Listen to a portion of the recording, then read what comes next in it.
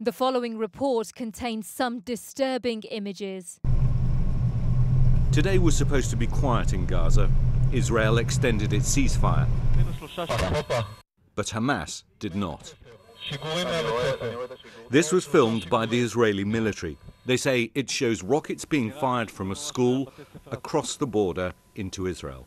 What is the benefit to the Palestinian people of Hamas breaking the truce and then having massive No, Israeli again. air fire We're looking for a total uh, agreement and a full agreement that will end this uh, killing and lift the siege totally and uh, get our freedom.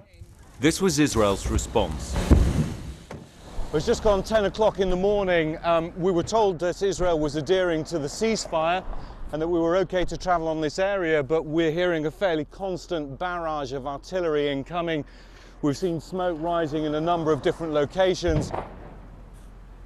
There, there.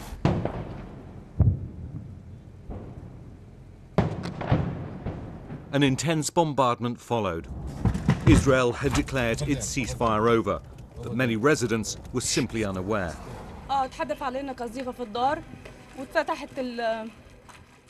The young mother said she was running away with her children because her house had just been hit.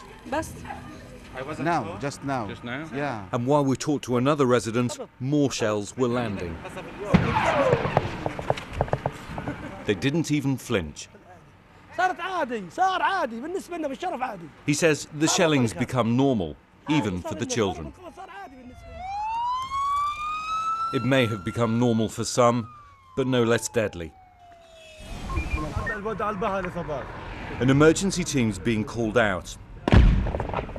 People have been injured.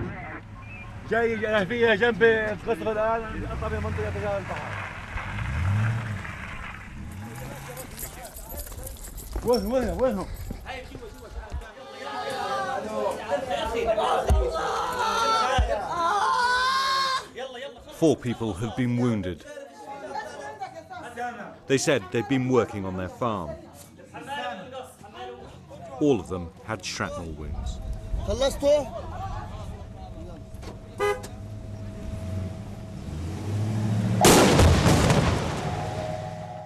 Even for rescue workers, the risks have become every day.